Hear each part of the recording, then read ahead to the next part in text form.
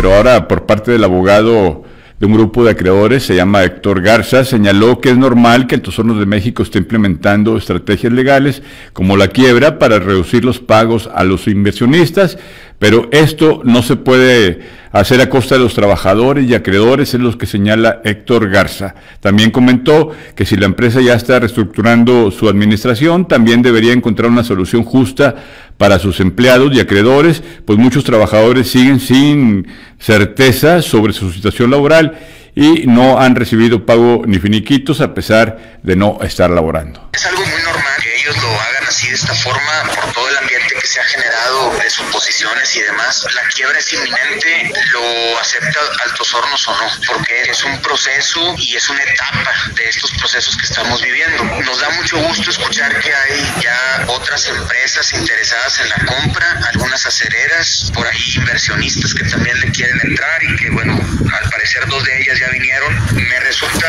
un poco incómodo el pensar que todo esto se pudiera estar dando en beneficio de los trabajadores y de los ex trabajadores de Altos Hornos, pero necesitamos que los boletines sean un poquito más extensos y necesitamos que Altos Hornos diga quiénes son los trabajadores, a quienes tienen contemplados como todavía trabajadores, a quienes no tienen contemplados como no trabajadores, para que ellos puedan hacer también sus movimientos y se puedan preparar ante todo esto. Que defina si hay trabajadores de confianza, sindicalizados, que ya estén dados de baja. Pues obviamente sí, porque muchos empleados todavía piensan que sí están ahí, pero no les han pagado, no les han dicho nada, no les han dado su baja, su finiquito, no ha habido nada, ninguna certeza para ellos. Y bueno, pues qué bueno que suceda este tipo de cosas, que haya gente que esté pues contemplando, ¿verdad? Comprarlo. Eso nos llena de tranquilidad, pero también hay muchos temas que no se han resuelto y que no se han aclarado y que eso impactan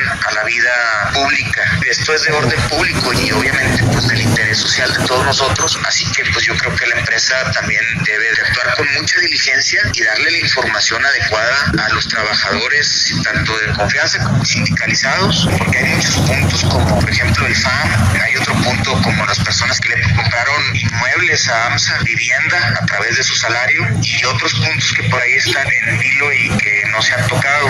Entonces entendemos que la empresa pues está haciendo sus estrategias para que los inversionistas puedan pagar lo menos posible por ella, pero no puede ser a costa de los trabajadores ni a costa de los acreedores. Entonces, si ya se están arreglando por allá en cuestiones de administración y a lo mejor ventas de activos y ventas de pues, lo que se pudiera dar como acciones y demás, pues también sería justo que también voltearan a ver a los acreedores y a los obreros y a los trabajadores de confianza que les puedan dar una atención y una veracidad y certeza. La posición de los acreedores en cuanto pues a la defensa del dineral que se les debe.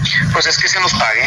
El que quiso azul celeste, pues que le cueste, ¿no? Entonces, ellos eh, pidieron que nosotros como acreedores hiciéramos algún trabajo, pues que nos paguen. Y también caso de los obreros, pues igual, que se les pague lo que se les deba. Si ellos trabajaron un año, más de un año, hay una diferencia entre salario de vengado y salario caído. El salario de vengado es el que ellos trabajaron y que no les han pagado.